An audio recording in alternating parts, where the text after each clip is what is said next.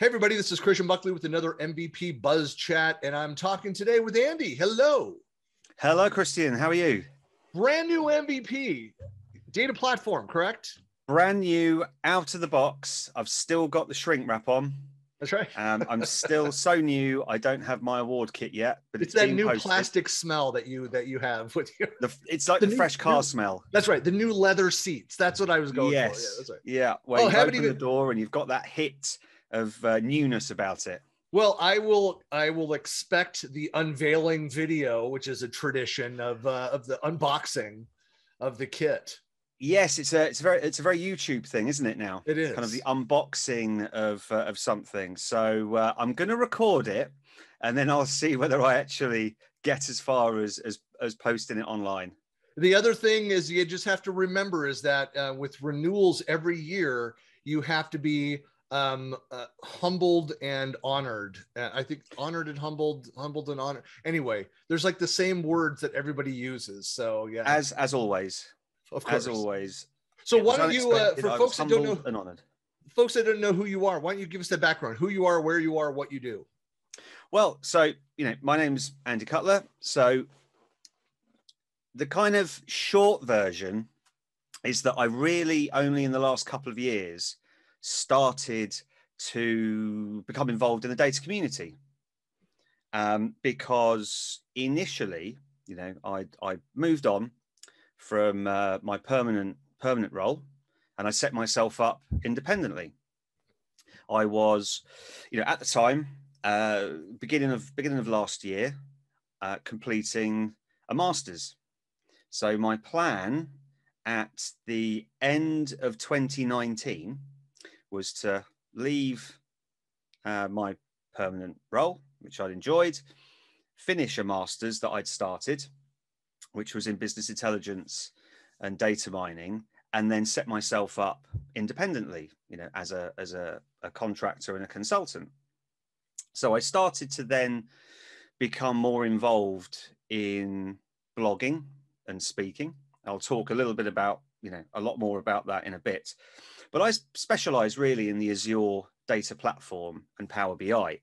You know, my history really was uh, databases. So I remember, and I know that there's going to be a lot of people that think that SQL Server 2000 is, you know, a pretty new, you know, product from from their experience. But I remember I worked for a web design company, and this is 20 years ago. This is, you know, just after the millennium, and we'd got SQL Server 2000, and I was tasked with writing the SQL to create this content management system.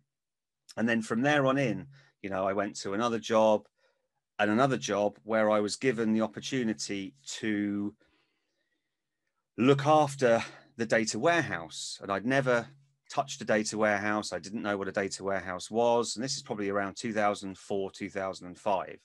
That's my So- background as well. That's where I kind of started in tech was in that world, data warehousing, Yes. data marts. And I there was a, a consultant that I'm still in touch with, touch with now, who was a MicroStrategy consultant because that's that's what Yep. the business intelligence tool was. I deployed that. Yeah, business objects, MicroStrategy, DSS agent, uh, Yes, SAS, yes. all that that world. Yep. But the IT director at the time, who was new, had tasked me with shadowing this consultant to understand the data warehouse. Mhm. You know, and you know, bearing in mind, I'd just spent the last sort of two or three years learning, you know, third normal form, normalization, database best practices, and then all of a sudden, you know, I'm still in sort of my early early twenties. I'm told to flatten everything, denormalize everything, you know, and I'm like, whoa. And that honestly, that that sort of began my love affair with everything data warehousing. So the Kimball books. All of a sudden, you know, I'm reading, um, you know, the ETL toolkit and the data warehouse toolkit. Uh, so for years and years and years, you know, I'm I'm working with SQL Server. You know, 2000. I remember going to Microsoft campus over at Reading in the UK to look at the unveiling of integration services, which was, you know, coming from DTS was amazing. This workflow, and from there on in, you know, up to 2008, 2008 R2, 2012, and finally into Azure around 2016. So I've worked predominantly with Azure for the last few years, but still with SQL Server as well on you know data warehousing projects. So I sort of very much consider myself, you know, a data warehouse person. You know, if it's going to be my big go-to thing, um, it's going to be data warehousing. You know, in a lot of the early two 2010s as well, uh, just like like back before we had Ignite. It was you know the tech ed event and the various tech eds. And I I went to some of the global tech eds in Germany and and down in Australia, New Zealand, uh, some of the regional tech eds. But we started to see. It's always interesting to look at the vendors that show up at these conferences, and and uh, if you attend enough of these events, which you know, guilty, uh, that you start to see the waves of the changes. And what ha- was starting to happen in 2010 to 2014 is you started to see like the big data vendors and the analytics firms and a lot of that that concentration which was new a, a relatively new thing to the microsoft ecosystem to yeah. start to see some of these players move in um, and so it's it's great to see the expansion of the mvp program and not just around the products but have concentrations like well like the data platform but you uh, but you start to see people that have a more varied background um, come into the space and you know and, and, so i'm like look azure's not my space it's you know not area there my my time uh, i left the data warehousing world at the end of the 90s um, you know so but it was for that decade was that was my world uh, yeah. you know, but I knew enough, you know, to cause some damage, but to also uh, uh, to be aware of some of this this shift that's happening with a lot of organizations. It's that you know every data issue is a big data problem. You know, we have massive amounts of data. I'm in the collaboration space. You know, think of how much structured and unstructured data it, it just out of the collaboration segment of an enterprise is much less the transactional systems, your ERP and CRM and other intelligent data that's coming from depending on the industry and the machines, you know, the, the, uh, you know, anyway, massive amounts of data that are out there. It, it just points back to the, the relevance and the growing need for people that once again focused in this area of the business. Yeah. And also, I mean, interesting you said about the size as well, because, you know, big struggle to get the context from even the smallest data sets you know so you know we've got the technology now we can choose and i have this discussion on twitter quite a lot about different vendors. You know interesting you were saying about you know vendors in in the space. You know yes we have microsoft we've got aws google snowflake databricks. Back in 2012 2013 i was using a lot of redshift AWS Redshift, um, because yeah, you know, Azure was still growing. It wasn't something that was, you know, uh, you were looking at yet. You know, AWS was still, you know, still, you know, that that big that big player. Obviously, Azure has, you know, gathered, you know, gathered gathered um, gathered pace. But the thing about, like, you know, the, if you look at the data platform side of things, Okay, so you know, recent announcement at Ignite was SQL Server 2022, which is going to have, you know, it's an on on premises product, right? You know, and we can say on premises in terms of our data center or our infrastructure in Azure if we're deploying onto onto VMs. That's going to have a lot of integration with cloud services. Yeah. So you're going to have a you know a bit of convergence there. I'm really looking forward to see how that pans out really in terms of collaboration. Um, but yeah, yeah, it's interesting points. Yeah, there's a lot going on too. Uh, so two years ago, where I started hearing about the like the Open Data Initiative and uh, sharing information with you know uh, Adobe and SAP and kind of the other platforms. And I, I, haven't been paying attention to like what's been happening in that space. But again, it's this idea that uh, you know there's no. I say this a lot, but there's you know uh, we are far removed from the day from the era where you would run into companies that be like, hey, we're just a Microsoft stack. We only have Microsoft technology. No, they're they they've got foot in you know aws here. They might be using oracle for this solution. We might be doing for productivity and all these things on over in the microsoft stack.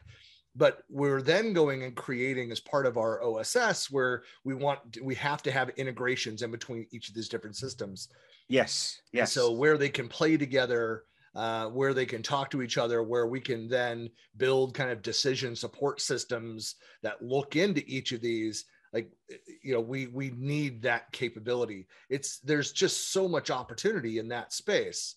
Uh, you know, for a lot of the partners that you know we talk to that we work with, there it's all about multi-cloud. That the vendors can't get there fast enough to be able to support, you know, uh, cross cloud, you know, capabilities and it's the evolution of products as well.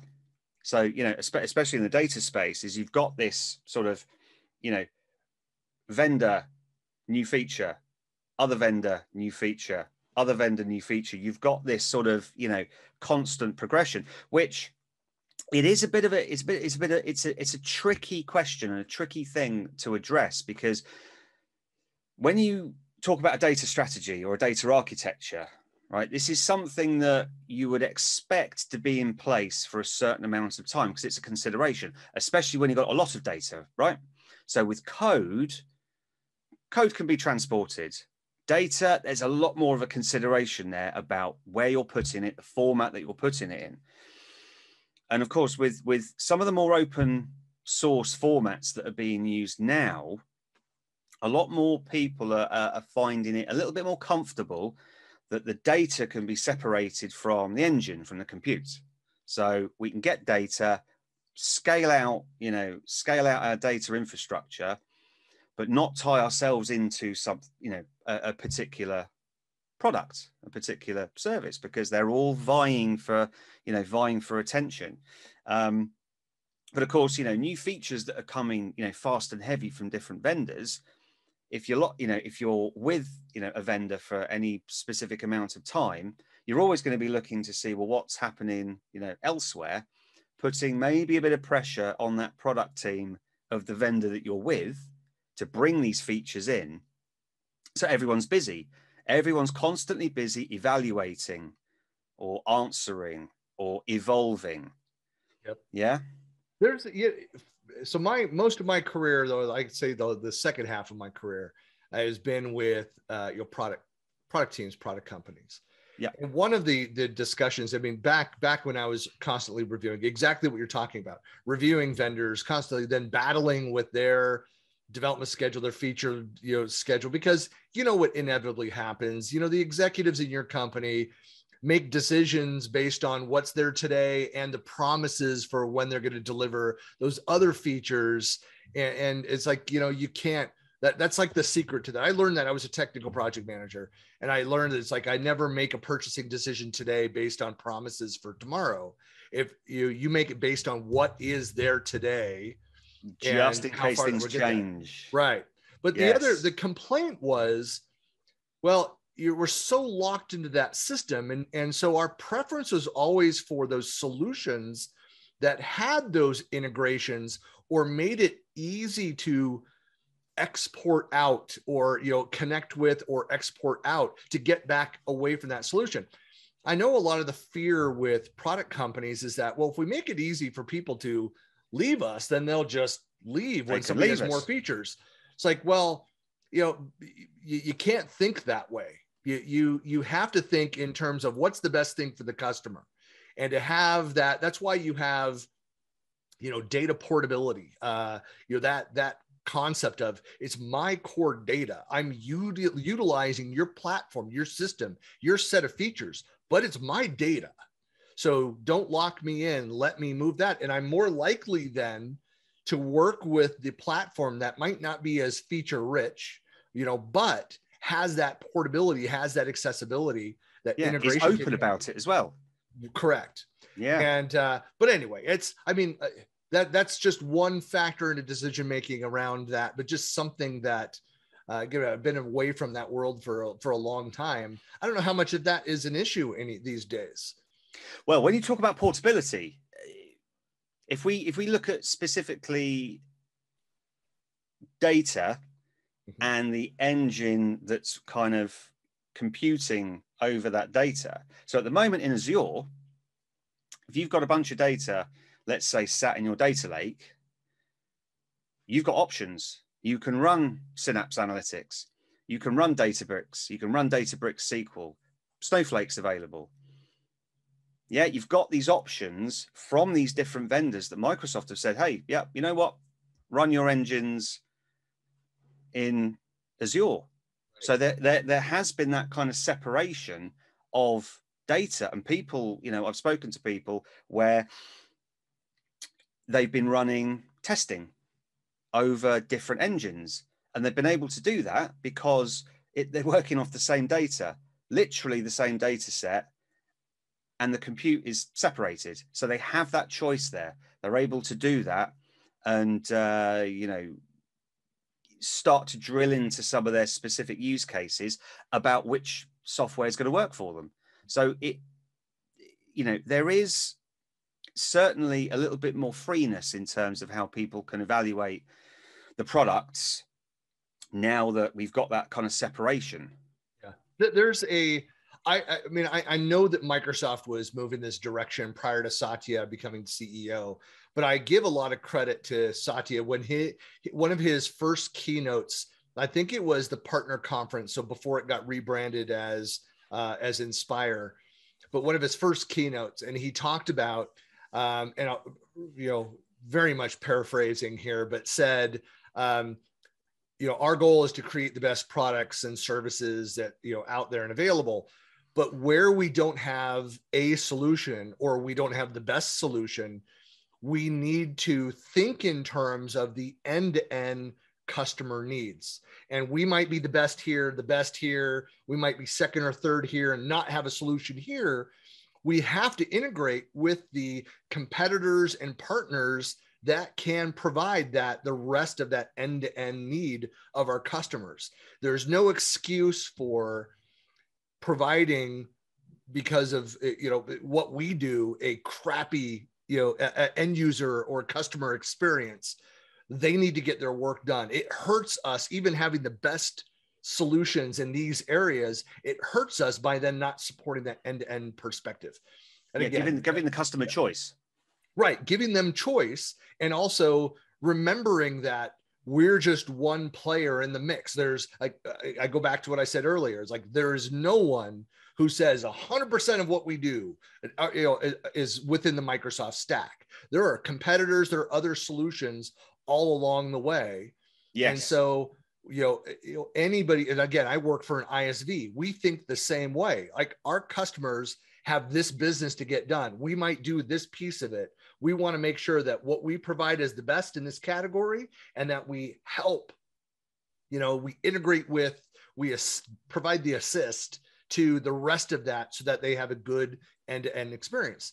Yeah. And, and, that's the i mean that's just like you know you know end user focused development you think that way. Um, the scenario based development where you're thinking of that you know the full scenario there and the solutions there but that's that's something that we need to think about too with the, when i talk about data portability which i know means something specific but you know i'm thinking generically about our portability and usage of that data the ownership of that data and yes. respecting that.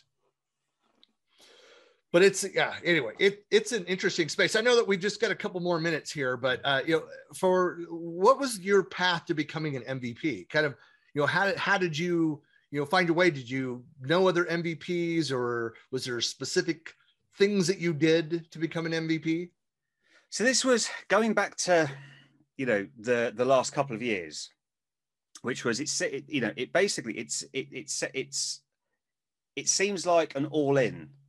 All my all my cards were on the table because you know I'd left my permanent job, wanted to finish my masters, wanted to set up myself independently. My initial end game, my goal was wanting to set myself up as you know a Microsoft partner. So I'm a, a silver partner. Yep. Um, because there's just me. Yep. You know, so I, you know, I can, you know, I contract, I consult, dependent on you know the project. And what I wanted to do is kind of build up that body of knowledge in blogging, in my blog. Okay. Because if I'm documenting something, if I'm going through a technical process, I'm going to blog about it. So I started to started to do that. And initially it was all around Power BI and Synapse Analytics. Now, Power BI, you know, it's a massive product. There's lots of different areas to it, lots of really, really clever people, all involved in different bits. And I kind of sit more on the kind of modeling bit that connects to the data sources. Yeah. So I'm not very good at visualizations. I'm not very good at DAX, but I never, you know, I, I, I, I'm very honest about that. Yeah. So I worked a lot and I started to blog and talk a lot on interacting Power BI with Synapse Analytics. And then from Synapse, I started to talk and blog a lot about serverless SQL. So the engine that can query external data. I then started to spin off a separate blog that was dedicated just to serverless SQL pools or specific to serverless SQL pools that just grew. So I put a series together about logical data warehousing with serverless. That was really, really popular. And I've kind of spoken about it for the last year. And it got on the radar, and people started to ask me questions and tweet and email and say, "Oh, I've just started to look at the service. You know, can you can you provide some pointers?" Um, and then, you know, I've been sort of collaborating a little bit with another MVP who uh, who then contacted me and just said, "Hey, do you want me to nominate you?" Yeah. And I was a bit, I was, you know, it was that just to be thought of as nominated. I thought, yes, not yet, you know, with yeah. not yet. Um, so we kind of went on that journey, and then you know, um, still presenting sessions at events, still talking and working on Synapse Analytics and especially the serverless space. Because when you talk about sort of the passion for products, one of the, one of the things that I always try and get you know, sort of front and center with something like serverless SQL pools is the fact that you can just bring in SQL skills. Very, very easy to get started, get set up. It's going to provide value in your BI stack, right? And if yes, if you want to use Databricks for something else, fine. Your data's there. You can connect to it from these different computes. Serverless is going to fit in there as well. Um, so that was really that that kind of journey is you know I, I, you know I started to build up that body of knowledge that was then blogging speaking um, and yeah I, I started to sort of get known a little bit on Twitter for going on about serverless uh, serverless SQL pools. Couple takeaways. I mean, that, that's a great point to not to to focus on the things that you're passionate about and that you're specifically working on like you don't need to be an expert on every possible topic within that category because no. because we all we can't you know and we're we're focused in certain areas. But the other side of that i mean i, I like that of uh of kind of and i've uh, talked to quite a few mvps that did the same thing is kind of say hey not just yet. Let me build up the body of content. Because that's actually something as part of the review process they they look at like your last year your body of work. And if they don't feel like there's enough of you know the contributions to the to the to the community there you actually then don't get you can't be considered again for many many months. It actually could take time. And so it's it, it's a wise thing to do to go and look at okay do i feel like my body of community contributions over the last year is on par with what I see from other MVPs enough to be considered for that. That's just something yeah. you should take into consideration. It is. I, th- I think you know it's. Um, I don't think people should be caught up too much with what someone else is doing. The Joneses. Because, you know, that's right. Yeah. Don't, yeah. There, there are a lot of M- there are a lot of MVPs who do something every day. In, in life, that is a good recommendation. It's not. Don't worry about what other people are doing. You, you just gotta. You gotta. Yeah. Gotta keep doing what you believe in and what you're doing. Right. Um. You know. You know. To get there. But um. Yeah. I mean, like you know, like I said, it's been a it's been a fantastic journey so far, and I just really want it to continue. To be honest. Well, that's awesome, Andy. Really appreciate your time. I know we're over. I got to run, but folks that want to find and get in contact with you, what's the best ways to reach you? So Twitter. So yeah. Mr. Andy Cutler on Twitter, but my uh, my, my yeah my uh, well Andy Cutler was taken unfortunately. There you go. Okay. Um, but my blog. Uh, you got your uh, father's Twitter handle then.